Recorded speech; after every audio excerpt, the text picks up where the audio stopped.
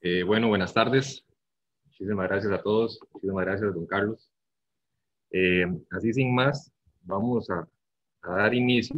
Justamente vamos a empezar hablando eh, un poquito sobre lo que es manejo holístico.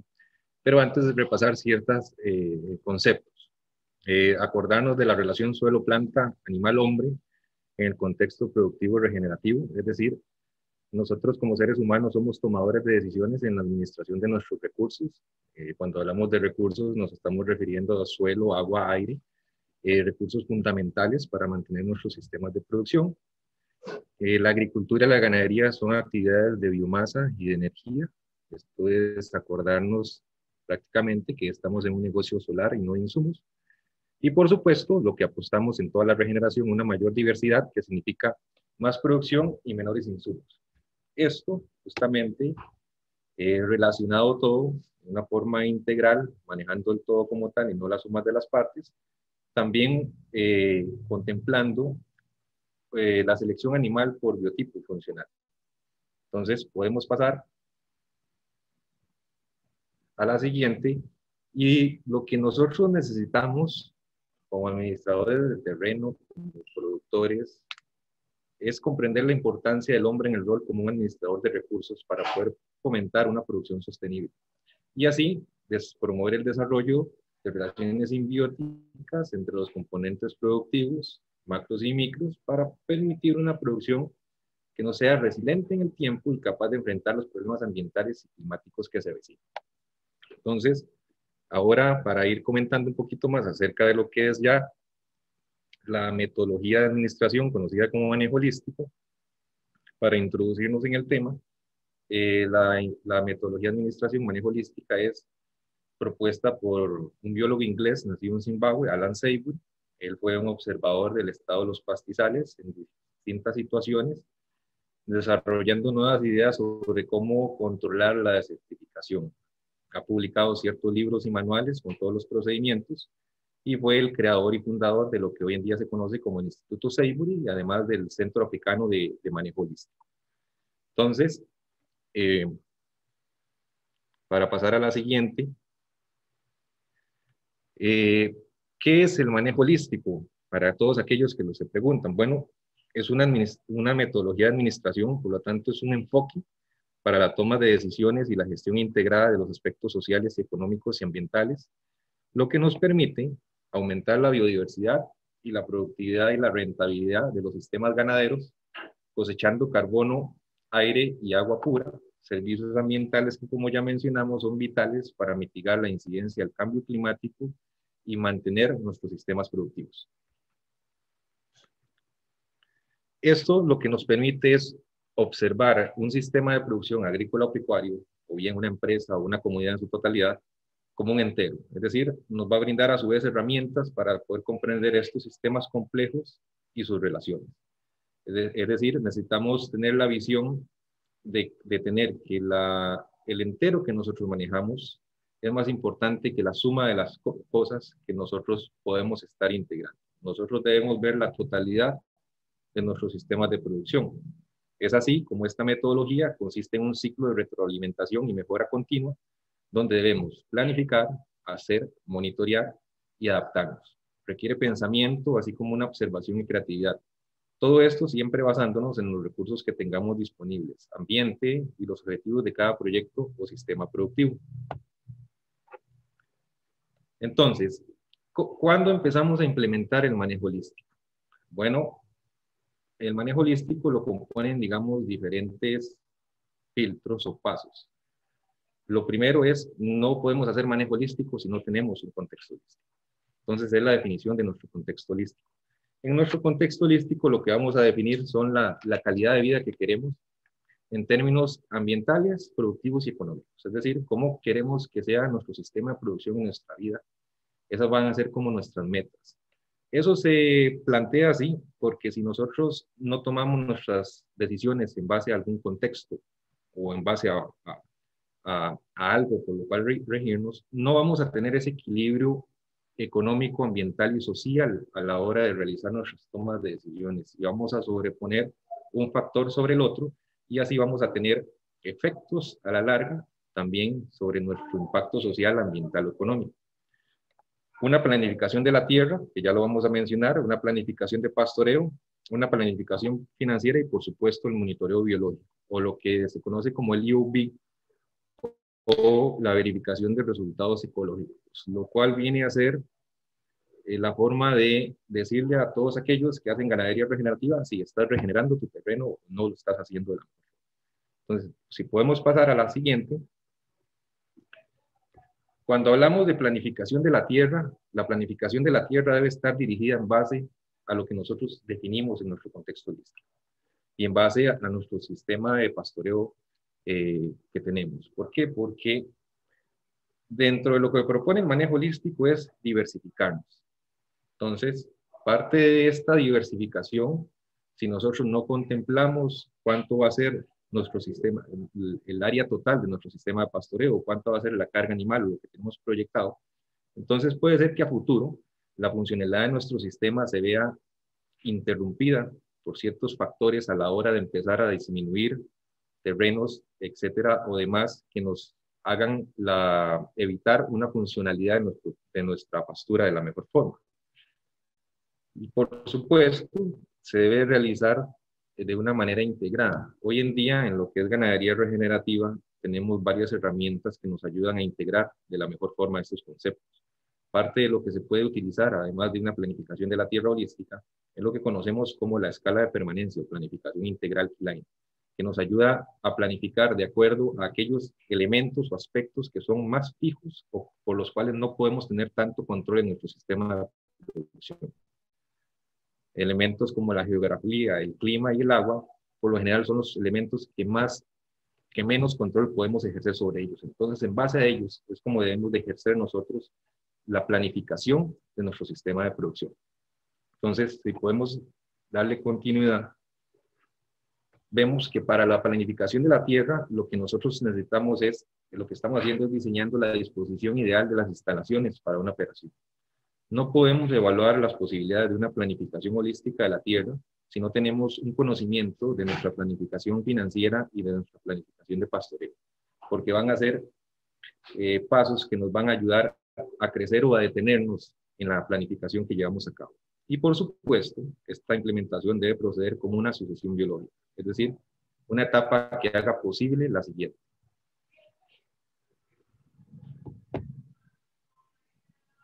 Dentro de, ya, ya mencionamos brevemente un, muy, algo muy, muy resumido de lo que es la planificación de la tierra.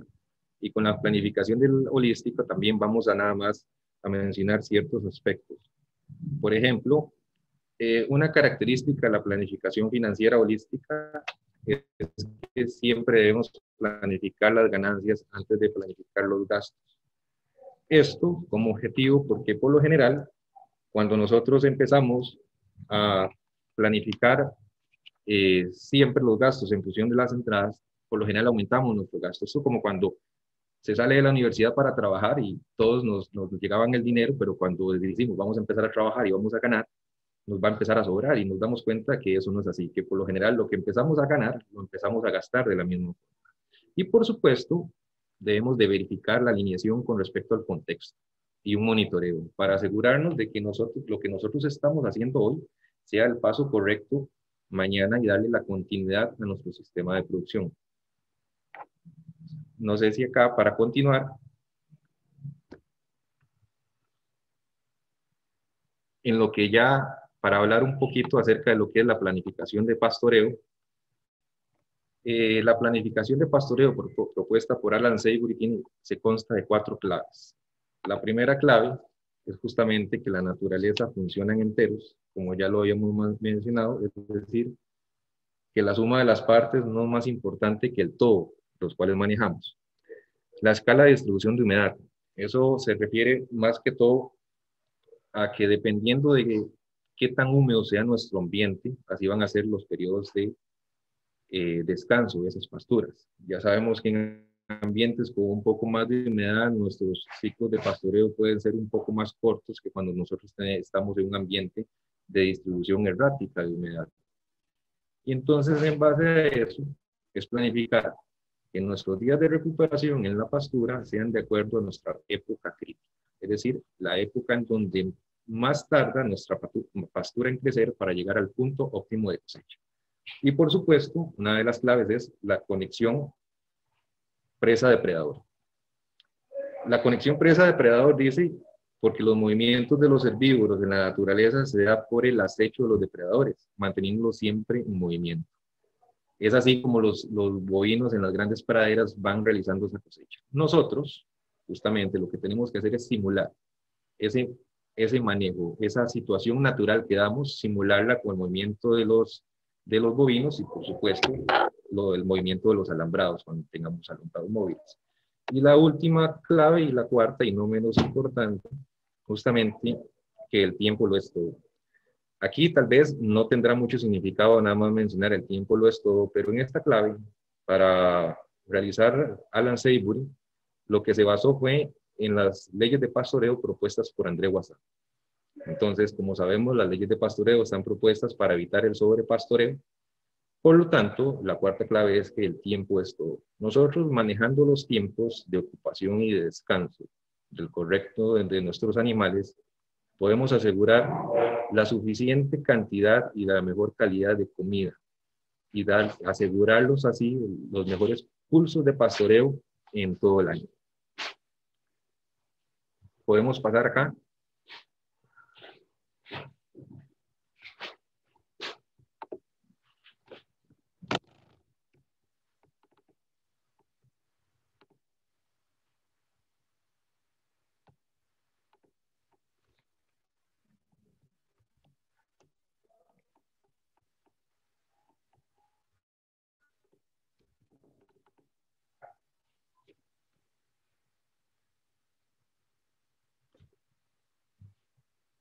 Oscar.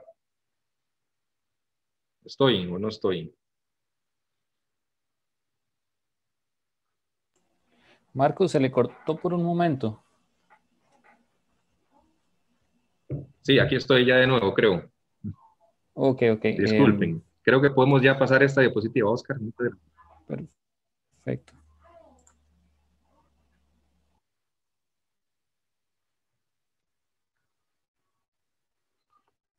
Ahora bien, con lo que respecta a la planificación de pastoreo, eh, una adecuada planificación del pastoreo nos permite el aumento de la efectividad de los cuatro procesos ecosistémicos. Cuando nosotros realizamos buenos pulsos de pastoreo, buenas cosechas de pastoreo, eh, toda esa relación entre suelo, planta, animal, lo que hace es favorecer los cuatro procesos ecosistémicos básicos. Procesos ecosistémicos básicos para sostener cualquier sistema de producción y cualquier vida en hecho, como lo es el ciclo del agua, ciclo de los nutrientes, el flujo de la energía y la dinámica de las comunidades. Entonces, entre mejor pulso de pastoreo nosotros tengamos, vamos a promover un mejor ciclo del agua, un mejor ciclo de los nutrientes, mayor diversidad de flora y fauna, y es justamente la mejora de estos procesos los que nos van a decir si estamos regenerando o no estamos regenerando nuestro sistema de producción. Entonces, podemos darle adelante.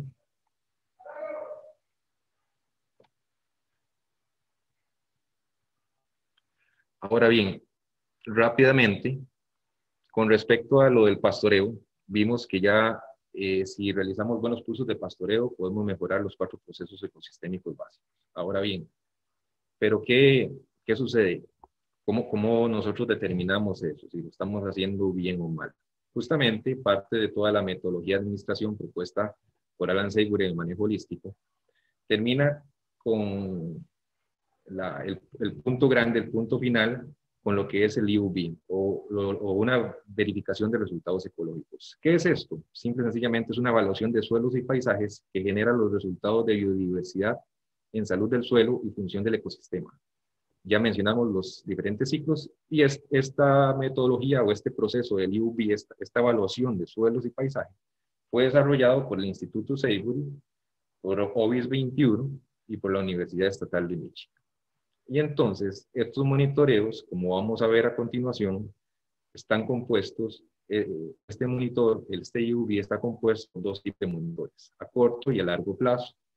¿Eso qué quiere decir? Bueno, que cuando nosotros tengamos pastoreos eficientes, regenerativos, y vamos a, y queremos ver cuál es la medición, este tipo de metodologías propuestas por el Instituto Seibury, el cual ya se cuenta en el país, eh, sirve justamente para definir si estamos regenerando o no.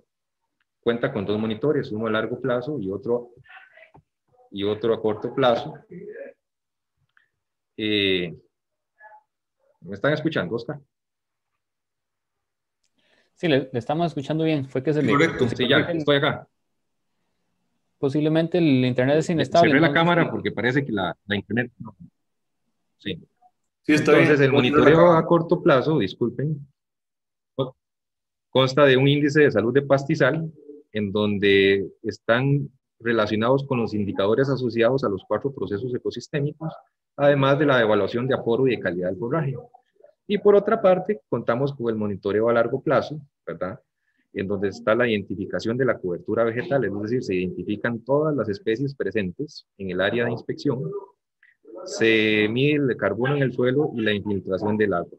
Aquí es importante mencionar que en el índice de salud de pastizales evaluamos diferentes indicadores, suelo desnudo, eh, vigorosidad de la planta, eh, fenología, si están en reproducción o no, ¿verdad?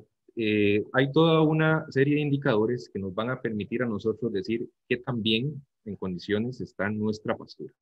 Lo interesante de todo esto es que, por ejemplo, el monitor a largo plazo nos va a servir a nosotros como para determinar la cantidad de carbono. Y el IUV viene a ser una verificación de resultados ecológicos.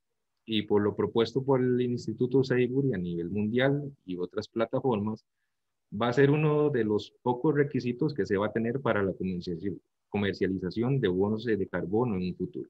Entonces, esta metodología propuesta por el manejo holístico lo que viene es a regenerar suelos y con la herramienta de medición para esa, esa regeneración. Entonces, en medida que estos monitores te dan los resultados, se obtienen, se evalúan y se identifican, ¿verdad? Los puntos y así se cuantifica ¿Qué tan eficiente están haciendo los procesos ecosistémicos con respecto al ciclo del agua, ciclo del carbono, de los nutrientes, dinámica de las comunidades y el flujo de la energía?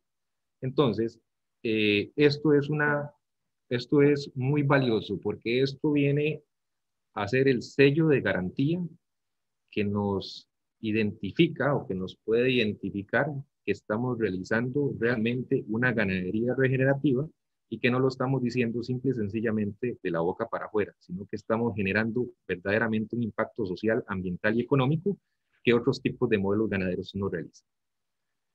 Y esto por acá, yo creo que sería parte de lo que teníamos. Van a disculpar, pero para poder hablar de manejo holístico necesitamos tamaño poco de tiempo. Entonces hicimos esta gran reducción y esperemos que haya sido de, de provecho.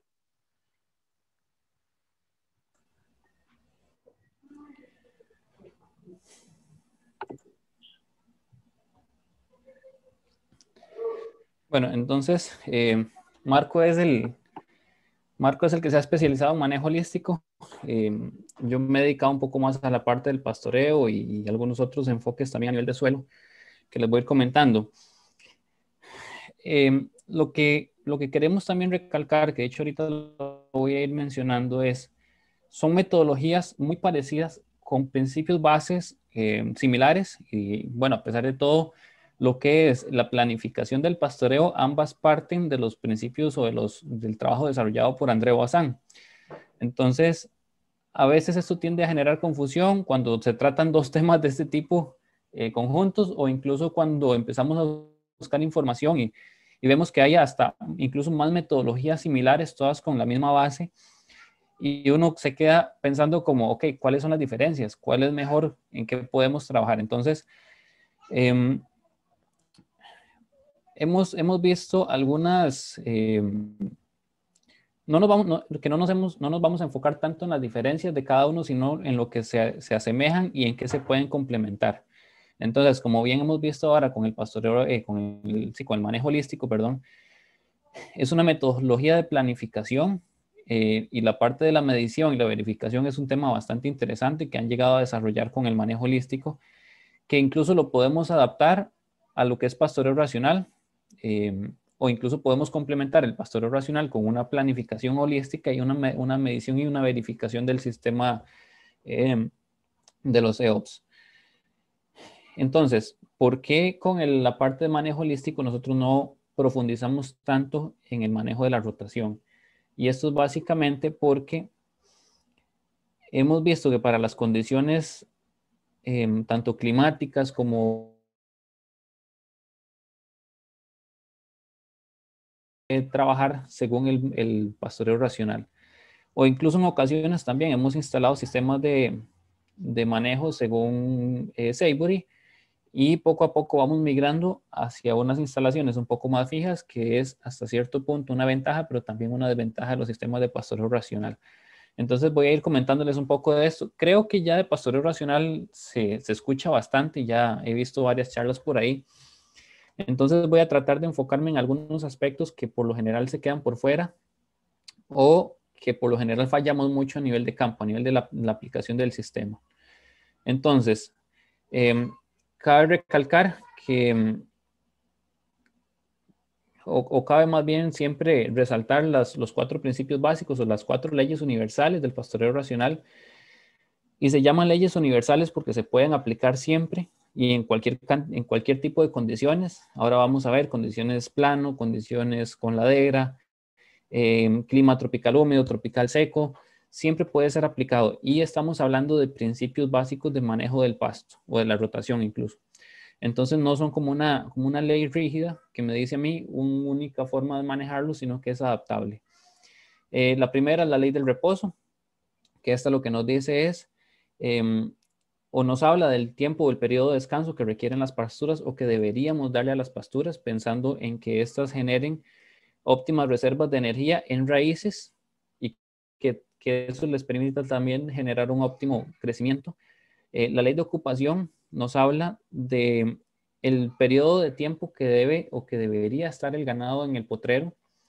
Entonces acá por lo general trabajamos con, o se habla de que en periodos de, de ocupación eh, mayores a tres días ya perjudican el crecimiento del pasto, ya hay una afectación sobre el crecimiento de los rebrotes, hay una afectación en la, em, en la movilización de la, de, la, energía para crear esos rebrotes, para crear crecimiento, que esto eh, está siendo aprovechado por el ganado y termina afectando tanto la permanencia de la pastura como los rendimientos de esta. Entonces, eh, nos habló de estas primeras dos leyes enfocado en el rendimiento de la pastura y las otras dos leyes van enfocadas hacia el rendimiento del ganado. Entonces, basan con la tercera ley, que es la ley de rendimientos máximos, nos dice que para que un animal, eh, no, perdón, estaba confundiendo. La tercera ley es que debemos beneficiar a los animales de exigencias alimenticias más elevadas. Creo que es algo que todos sabemos, que dentro de un acto o dentro de una producción hay animales que tienen, tienden a, a, requerir alimentos de mayor, en mayor cantidad y en mayor calidad. Y dentro de esto podríamos estar hablando, pensando en una producción de leche, eh, podemos estar hablando que dentro de un acto que se mantiene en producción, que está, que está dando leche, em, hay vacas que están en el primer tercio de la lactancia, que tienen una demanda energética, demanda alimenticia mayor em, en relación al resto de los animales o incluso comparado con los animales que ya están en el, en el último tercio de la lactancia. Entonces, eh, lo que se hace es que se utiliza ese grupo de animales que está con mayor demanda alimenticia, se llevan en un potrero adelante y se llevan despuntando. Y eso es un principio que se llama el, despunte y repaso. Tratando también de cuidar eh, la carga animal, no hablamos de cantidad de animales, sino que hablamos por carga animal. Un porcentaje de un máximo un 30% de la carga animal va a ir despuntando. Esto para no, afectar tampoco la, calidad del forraje que le va a ir quedando al repaso. Y la ley de rendimientos regulares, eh, esta lo que nos dice es que para que un animal pueda dar rendimientos regulares es necesario que no permanezca más de tres días en una misma parcela un mismo potrero y entre más cortos los periodos de ocupación, mejores van a ser los rendimientos. Entonces podemos estar hablando de un día o hasta de medios días, como sucede, por ejemplo, cuando hay lechería. Tenemos un ordeño en la mañana, un ordeño en la tarde y esto nos, nos permite estar haciendo cambios más seguidos. No necesariamente es eh, desarrollar potreros separados para la mañana y la, noche también, porque cuando trabajamos, cuando hacemos este tipo de manejo, buscamos respetar los ciclos naturales del, crecimiento de los pastos. Eh, no, y tratamos de no aplicar, eh, primero no usar agroquímicos porque esto va a tener una repercusión sobre la vida del suelo y por ende vamos a tener una afectación también en la fertilidad o en la capacidad de regenerarse y de incrementar la fertilidad del suelo de forma natural. Y además, eh, no aplicamos fertilizantes porque eso también nos va a repercutir sobre la vida del suelo porque en realidad no son necesarios. Y ya por ahí les voy a ir mencionando un poquito más adelante, un poco, eh, detallando más ese tema. Pero entonces, cuando no aplicamos fertilizantes, pues contemplamos también a la hora de planificar los periodos de descanso, de reposo del potrero, esos ciclos de crecimiento que el pasto va a requerir para recuperarse por completo, para generar eh, esas reservas de energía que no se vaya a agotar, que sean pastos permanentes. Y asimismo, Em, también planificándolo para la época crítica, porque también estamos acostumbrados a trabajar con tiempos de descanso o muchas veces se trabajan con tiempos de descanso fijos, eh, ya sean 25, 30 días o a veces más, a veces menos, y no contemplamos la dinámica de los pastos, porque los pastos son dinámicos en su crecimiento y también hay una respuesta ante un estímulo climático que debemos contemplar. Em, un pilar importante, algo de lo que siento que es de los que a veces cuesta más trabajar cuando se hace pastoreo racional o llegar a aplicar correctamente es la, cosecha a fondo. Y es sumamente importante hacer, eh, hacer un, manejo de, o un aprovechamiento máximo del forraje. En este caso, les voy a, les quiero comentar el, ejemplo de esta finca, que cuando iniciamos en pastoreo racional o cuando se trabajó inicialmente, no se hicieron modificaciones al diseño que ya había implementado por lo general las lecherías tienen un buen sistema de división de apartos, entonces casi siempre para iniciar no es necesario hacer un replanteo, pero sí hay que hacer algunos ajustes, algunos acomodos. Entonces en esta finca se inició justamente de esta forma, se empezaron a subdividir los potreros, a utilizar cerca móvil para achicar los espacios, eh, forzar el ganado a hacer una cosecha a fondo para aprovechar ese, tejido que estaba quedando ahí. Y resulta que, bueno, eh, en esta finca trabajaba con, bueno, trabaja creo actualmente todavía con dos grupos de ganado, una primera y una segunda. Y me decía el, me decía el productor que tenía, todavía había un cierto, un cierto temor ante ese cambio, ante poner el ganado, consumir ese tejido que estaba ahí abajo. Entonces me decía, bueno, para no, para que no haya una afectación importante sobre la producción, pensando, ¿verdad?, en ese temor, eh, se inició esa cosecha a fondo con el grupo de la segunda, que eran las vacas de menor producción o, incluso, como les decía, de menor demanda alimenticia. Y la foto que vemos aquí a la izquierda, la que se ve más grande, resulta que es del lado izquierdo es un potrero de la segunda y del lado derecho era un potrero de la primera. En esta finca también una particularidad fue que se inició en, pleno verano. Em, si no me equivoco, fue alrededor del 2019, por ahí más o menos, que fue un verano eh, relativamente fuerte o bastante fuerte también para esta zona. Em, y lo curioso fue que después de la segunda y a la tercera rotación de haber hecho cosecha a fondo, de haber permitido unos descansos un poco más prolongados de lo que estamos acostumbrados a trabajar, entonces el, el grupo de ganado de la segunda estaba, estaba pastoreando en repasos de mucho mejor calidad, que son estos pastos más verdes que podemos ver ahí. Y eso fue mero efecto de la cosecha a fondo.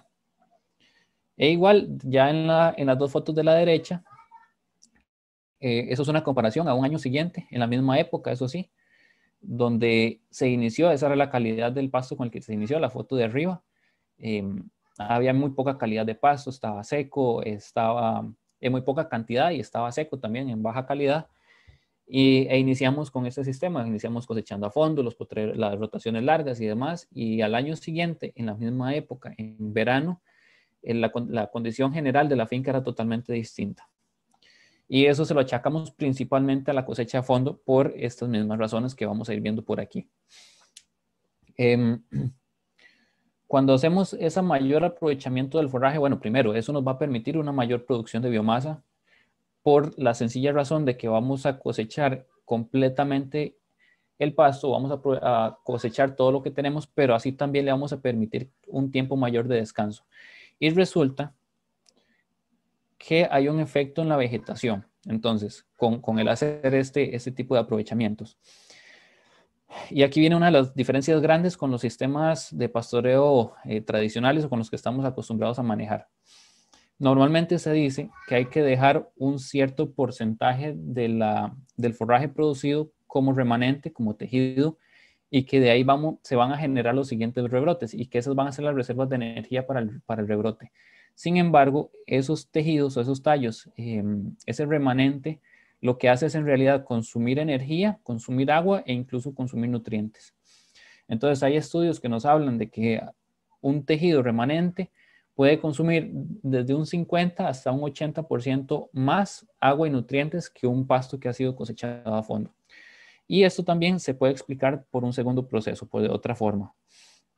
Resulta que las plantas em, realizan dos procesos básicos vitales para la, para la vida y para el crecimiento del tejido, que uno es la fotosíntesis, que es el principal factor o el principal sistema de, de recaudación de energía solar para convertirla en biomasa o podríamos hablar para convertirla en vida, porque a partir de esa energía solar se produce biomasa que va a alimentar a los herbívoros que se aprovechan, que consumen esa planta e incluso a los microorganismos que se van a aprovechar de los, de los excedentes de, energía en forma de azúcares que la planta va a estar excretando por la raíz.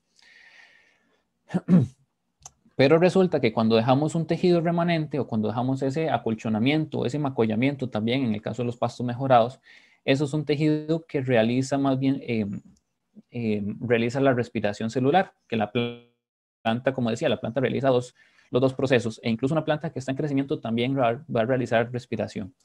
Pero lo que buscamos es que con el manejo que hacemos y el aprovechamiento del forraje, disminuyamos lo más posible la respiración celular e incrementemos lo más que se pueda la tasa de, fotosíntesis. Y esto lo vamos a lograr em, generando un crecimiento activo fuerte en el pasto. Y eso lo vamos a lograr con una cosecha agresiva, con una cosecha a fondo, como lo estamos viendo en estas fotos.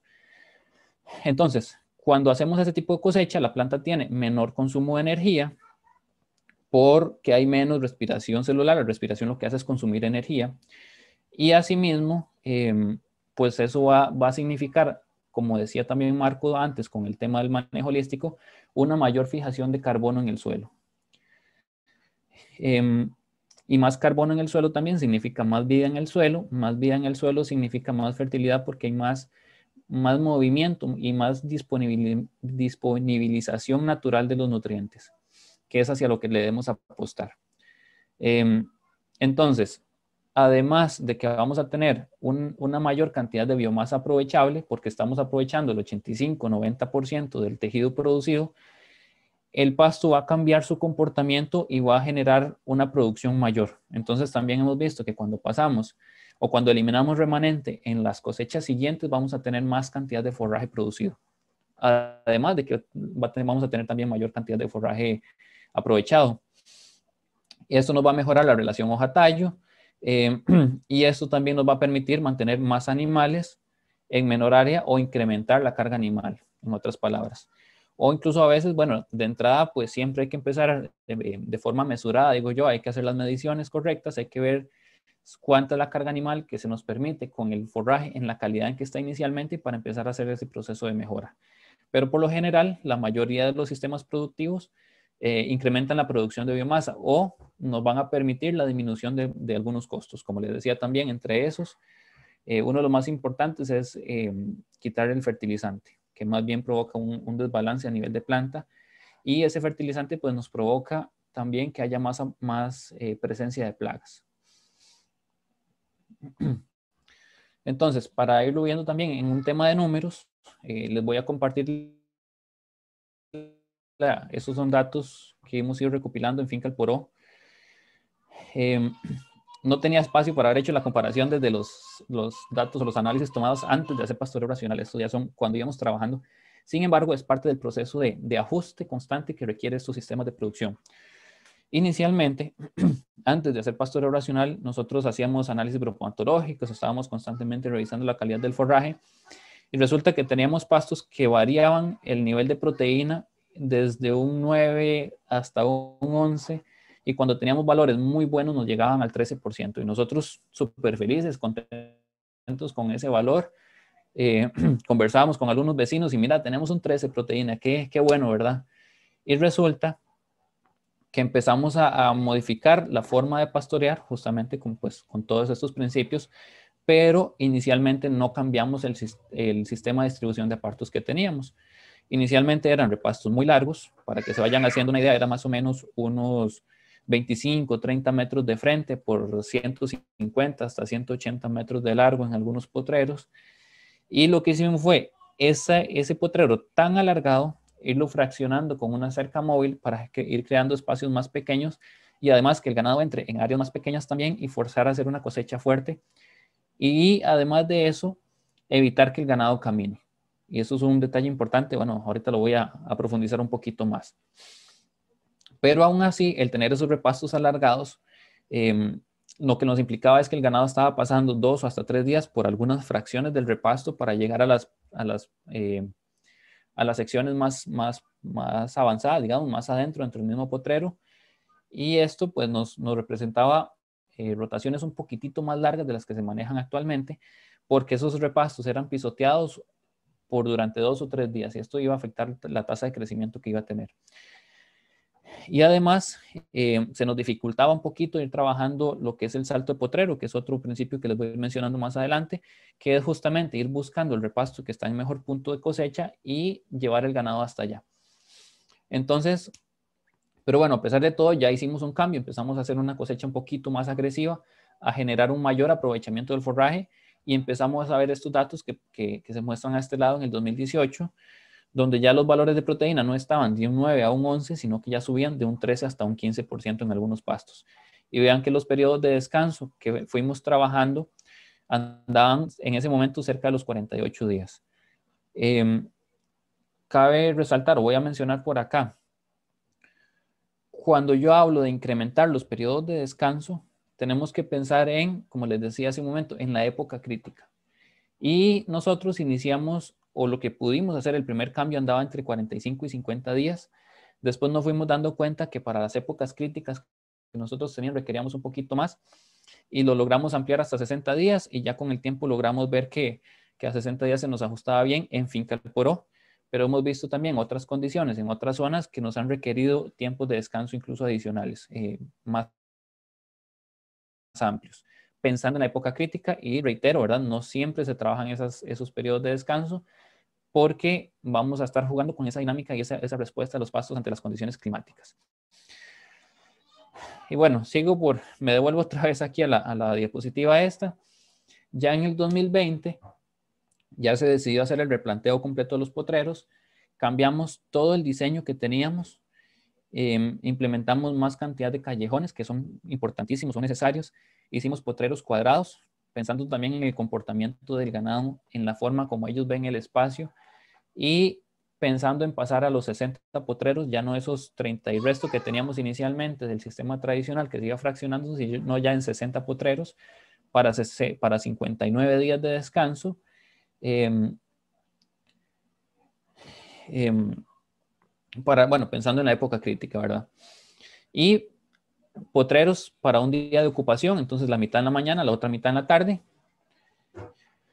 Y resulta que entonces cuando empezamos a hacer esas cosechas todavía un poquito más agresivas, logramos aprovechar un poquito más el forraje, bajar más la cama, pero con el cuidado, eso sí es un detalle importante, con el cuidado de no dejar el suelo en tierra, porque a veces nosotros decimos, hay que bajar el pasto, hay que, y mostramos esas fotos y nos dicen, eso quedó en tierra. No, el, suelo nunca debe quedar descubierto. Siempre tiene que quedar el remanente suficiente para cubrir el suelo. Y, eso también es un punto porque, importante porque hay que ir haciendo los ajustes de qué tan a fondo puede irlo llevando el, pastoreo según el comportamiento y la respuesta del animal. Pero entre más abajo lo logremos llevar, eh, mejor van a ser los rendimientos. Y eso es lo que estamos viendo aquí ya en el 2020.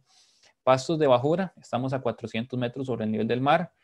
Em, presentando valores de proteína de, un 18 hasta un 20%. La fibra en algunos un poquito alta, un poquito baja, pero estamos contemplando también a la hora de tomar la muestra la totalidad del forraje, em, cosechando casi que a ras de suelo, pensando en que el ganado debería estar consumiendo todo.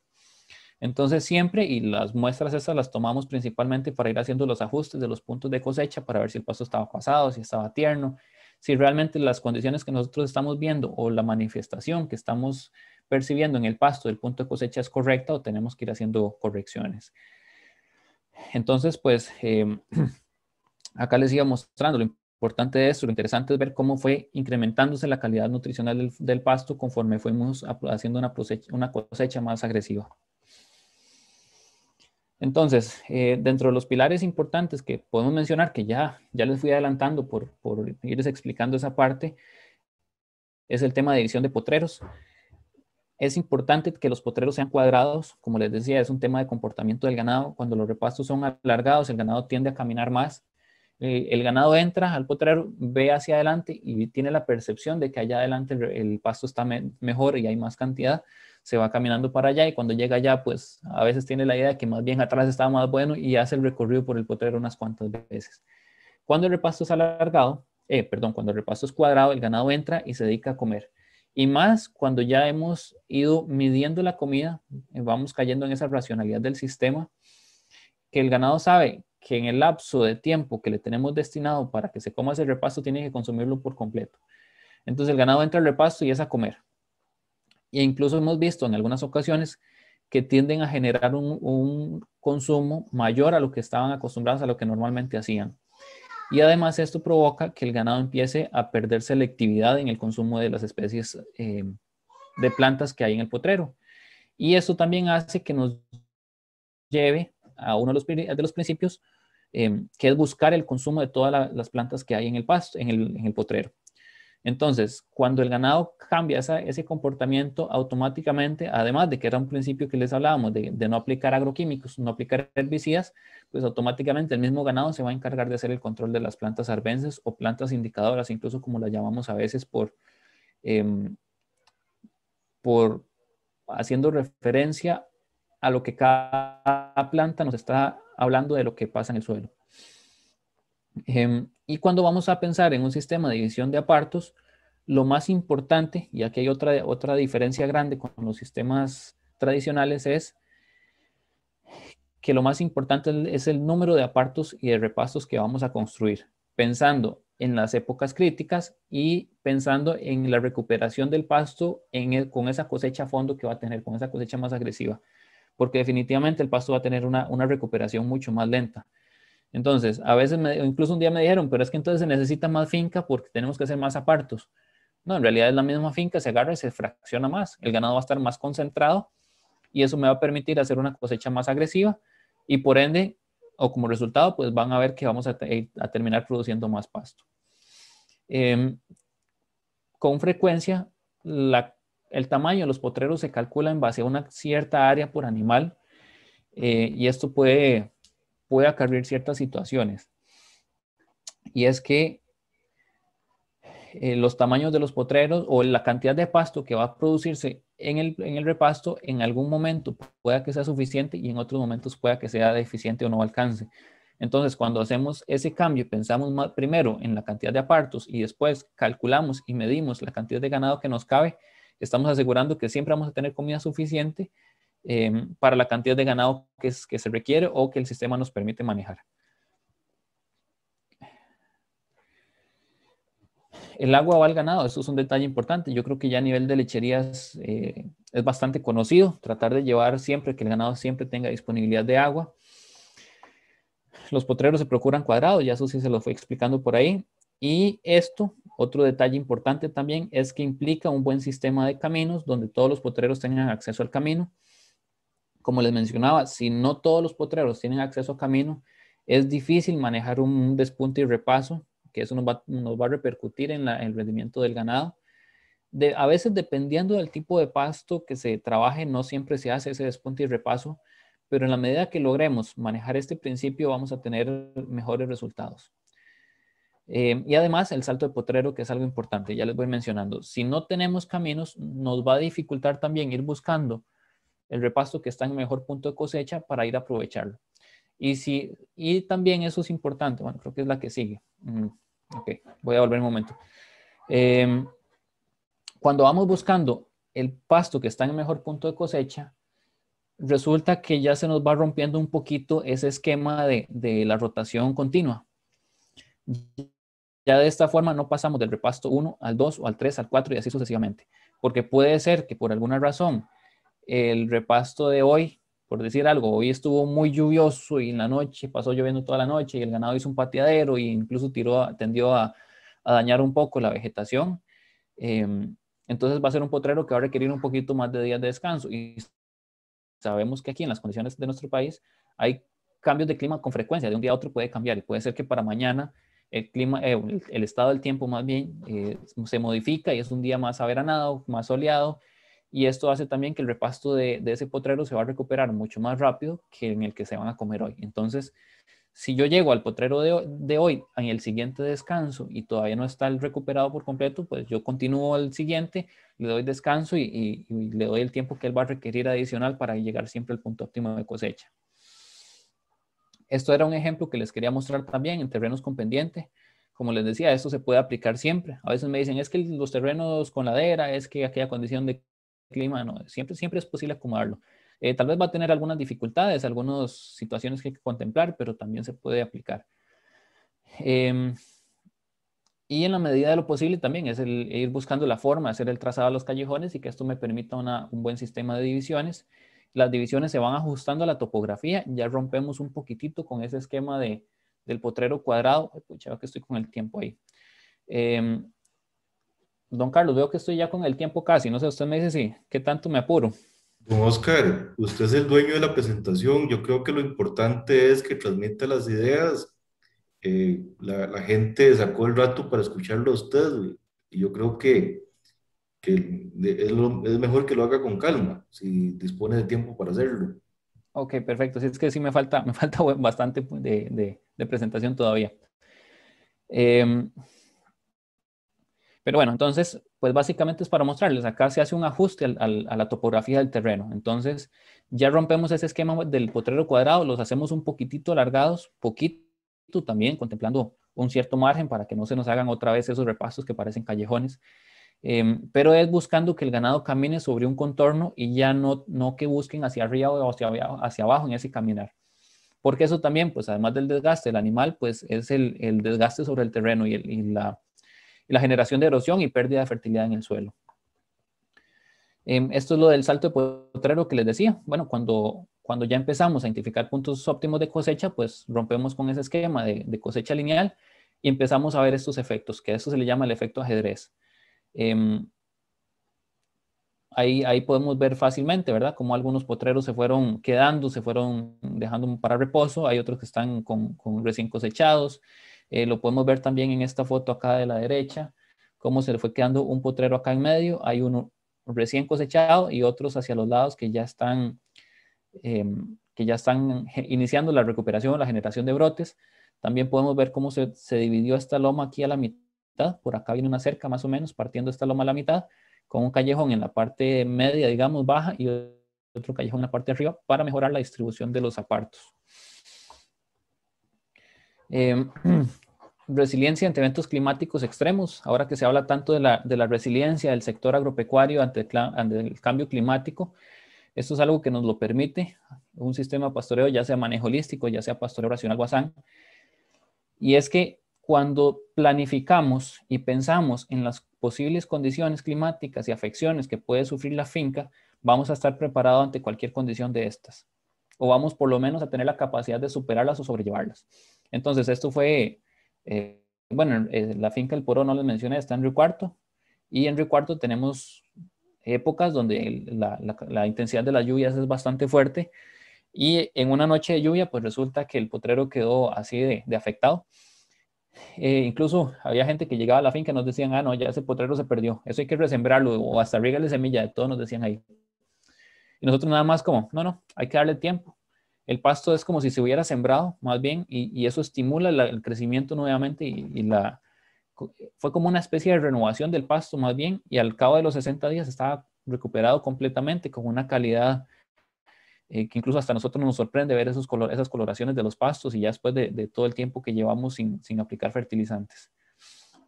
Entonces, igual como lo decía Marco, es un tema de tiempo, de permitirle al pasto manifestarle, manifestarse y tener su comportamiento natural de crecimiento. Em, para poner unas condiciones un poco más extremas, creo que...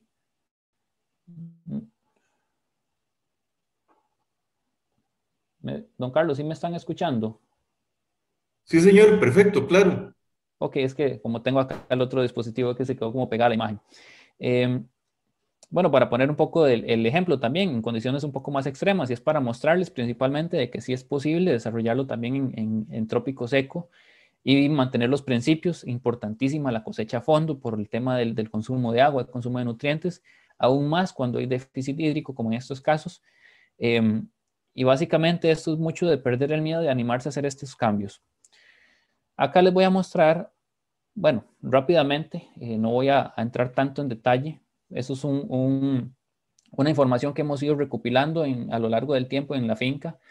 Desde, desde antes incluso de hacer pastoreo racional, estos son análisis de suelos, donde hemos ido comparando y, llevando el, monitoreo para ver qué es lo que está sucediendo. Porque pues ya llevamos seis años prácticamente de no aplicar fertilizantes y, y más de una vez nos dicen, y bueno, la, teoría siempre dice, hay que devolverle al suelo lo que le estamos sacando, porque le estamos sacando leche, le estamos sacando carne, le estamos sacando em, cultivos y demás. Pero resulta que si, que si trabajamos con la naturaleza, si promovemos primero el reciclaje de nutrientes y promovemos la vida del suelo y la integración de la materia orgánica, esto nos va a permitir tener una fertilidad creciente. Y de hecho lo vemos con este, este análisis. Creo que ya, ya lo presenté no sé si ya algunos de los que están eh, de los que están conectados la habrán visto, pero la diferencia es que año a año la vamos actualizando y le vamos metiendo más información.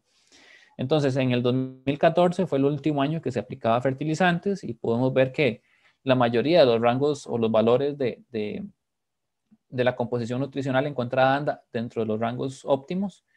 En 2015 fue que decidimos dejar de aplicar fertilizante y se nos vinieron un poco abajo los valores de, de nutrientes encontrados. En 2015 tomamos dos muestras, en 2016 por alguna razón se nos escapó, eso no se tomó, entonces no es que haya un error ahí. Em, pero a pesar de que vimos esta disminución en esa composición nutricional en la finca, siempre hubo un incremento en la producción de pasto asociado a la forma como se estaba manejando la cosecha. Y después del 2017 ya podemos ver cómo se incrementaron nuevamente los, valores de, nutrientes y del 2017 en adelante siempre se han mantenido dentro, del rango óptimo e incluso se, se tienden a, balancear algunos. Eh, ya eh, en ocasiones hay alguno que sube mucho, otro, otro disminuye, pero de ahí se mantienen siempre con altibajos, normal para cualquier suelo. Y em, pero bueno, se han mantenido los rangos, no ha habido pérdida de fertilidad, que es lo más importante, por el contrario, hemos, logramos incrementar la fertilidad y, mantenerla.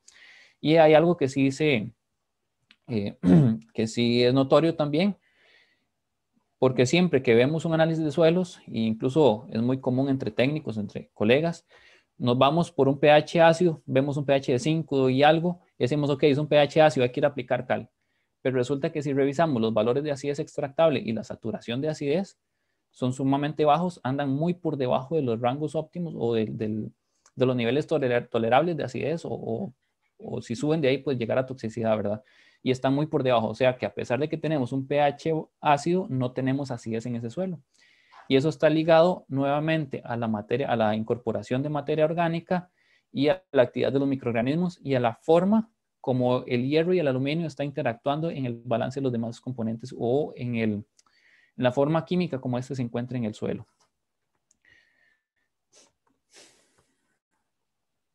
Creo que se me, se me fue una de más ahí.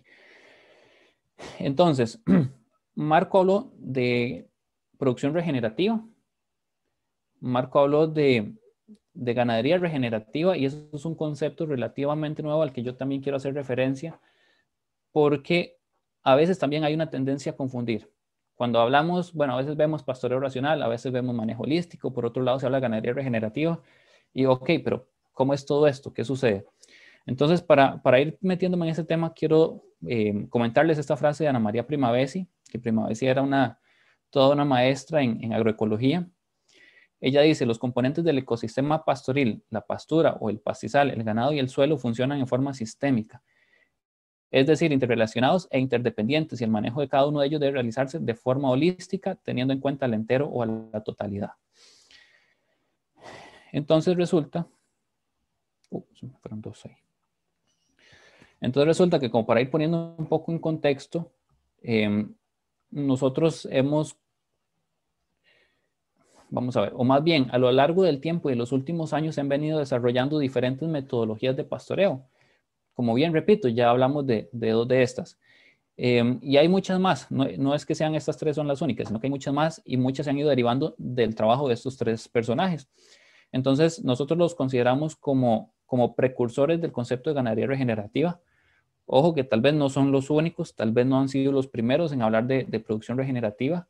Em, y, la ganadería regenerativa es un concepto que se ha ido formando con el tiempo. Entonces, hay, todo el trabajo de estos personajes y de muchos otros han ido aportando para ir construyendo este concepto.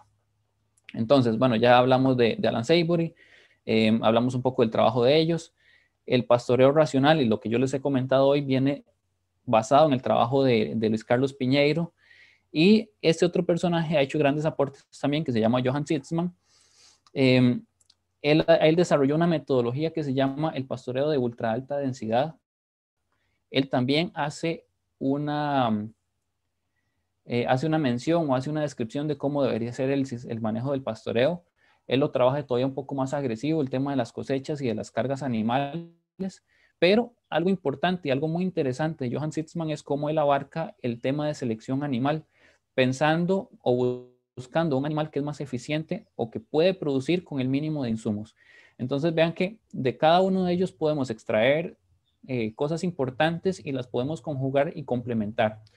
Entonces, eh, muchas veces se dice que una deficiencia del trabajo de Piñeiro ha sido la parte social y de planificación, incluso la verificación, como lo veíamos con, con el trabajo de Savory. Entonces vemos que si tenemos un manejo de pastoreo eh, más eficiente o más, más rígido, por así decirlo, como el de Piñeiro, lo complementamos con la planificación de Savory, la verificación, y a esto le sumamos un biotipo animal que se nos adapte mejor o buscando o replanteando la forma de la selección genética, buscando animales que vuelvan nuevamente a, que nos devuelvan la capacidad de producir en base a los forrajes y que tengan una menor demanda de insumos. Entonces vamos a ir desarrollando un sistema altamente productivo y muy eficiente.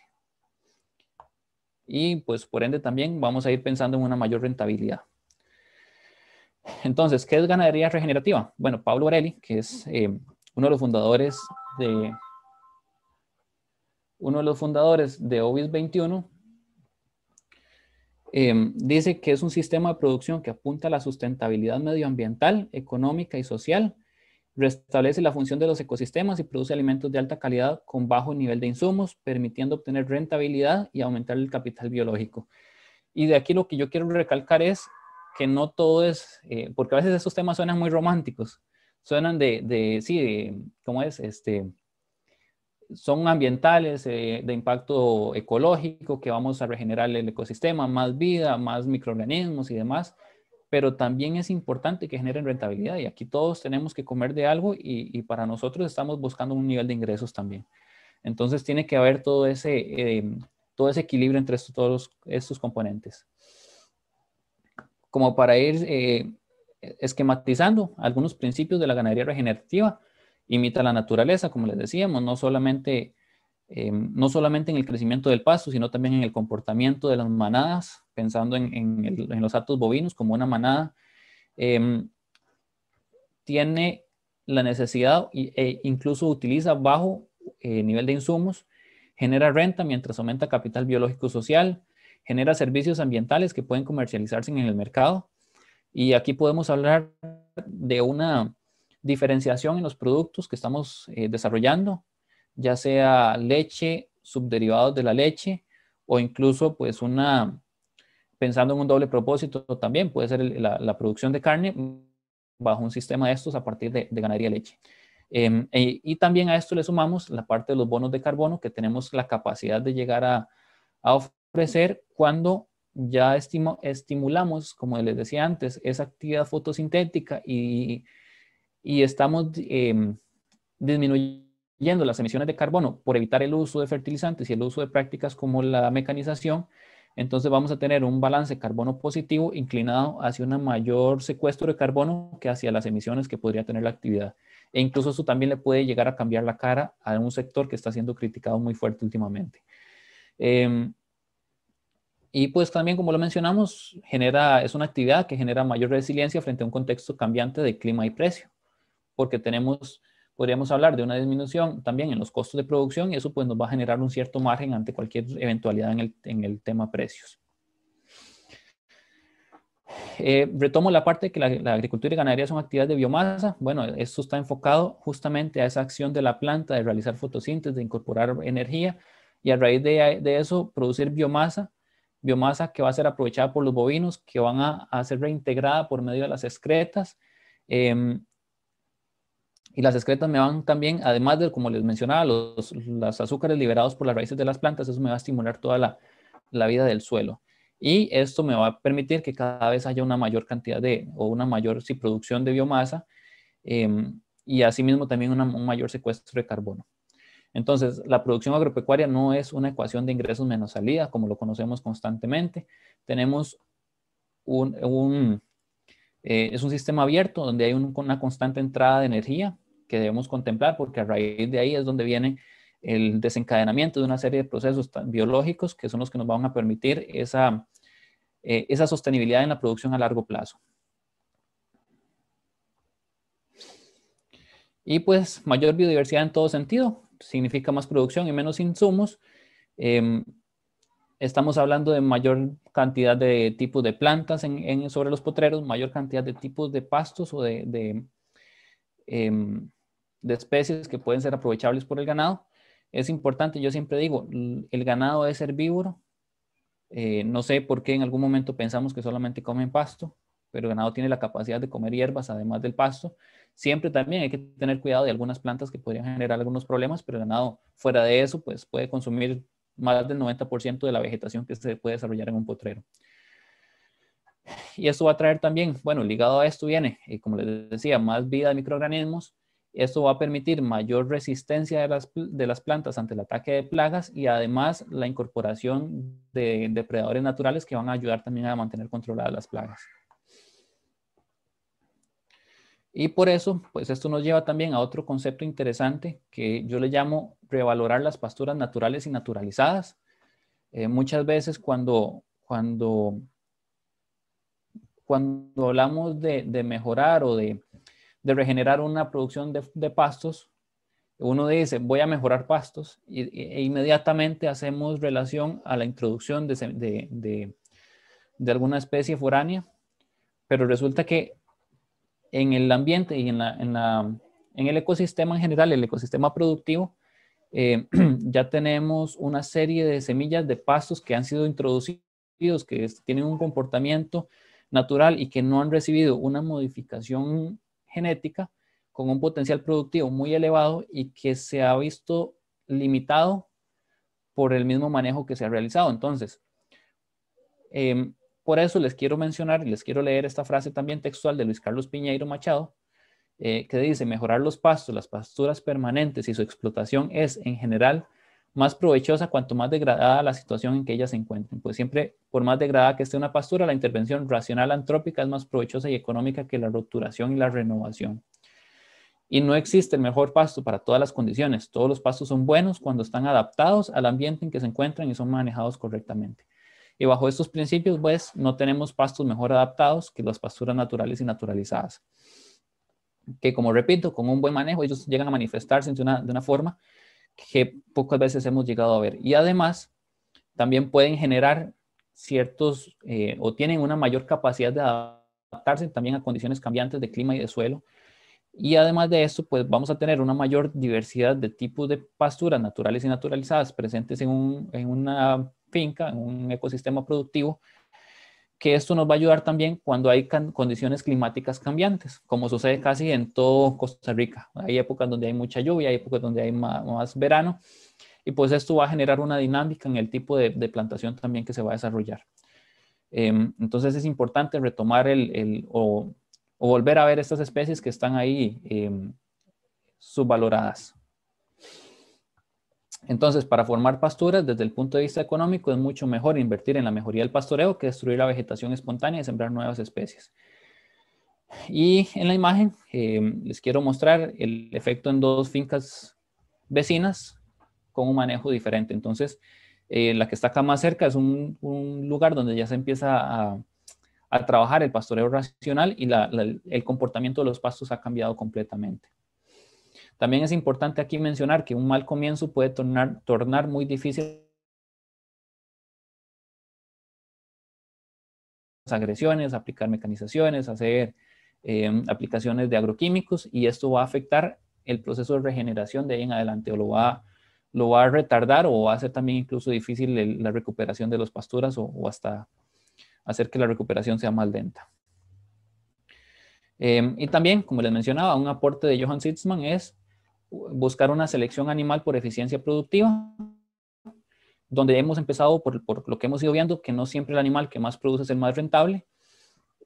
Y empezamos a enfocarnos mucho en la, fertilidad, que empieza a tomar mayor relevancia, pero pensando en la fertilidad natural, pensando también en la disminución del uso de insumos y en este caso pensando en el uso de hormonas, eh, porque muchas veces he escuchado también por ahí que se dice eh, que las vacas son muy fértiles porque se, bueno, se, se hizo un protocolo de inseminación a tiempo fijo. No es que esté mal esto, eso sí quiero recalcarlo, no es que esté mal, pero en la medida en que utilicemos menos insumos, incluyendo estos, pues vamos a tener una actividad más, eh, más rentable. Y entonces tenemos que repensar en el tipo de animal que tenemos, en la capacidad que estos animales tienen para producir a base de forrajes e incluso para reproducirse, porque también si no tenemos crías, pues no vamos a tener leche tampoco.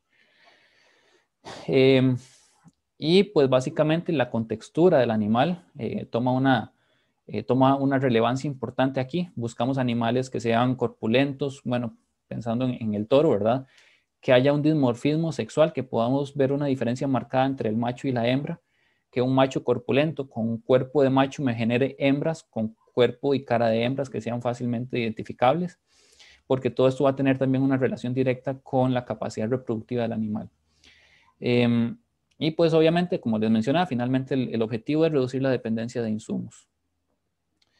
Entonces, por acá les dejo también esta, esta frase de André Bazán eh, para analizarla. Tal vez va a sonar un poco, em, no sé, un poco, un poco fuerte, no sé, pero tenemos que, tenemos que analizarla y ver si podemos volver o en, la medida de lo posible que vayamos migrando hacia, hacia esto. Entonces, la alimentación del ganado se basa en la hierba.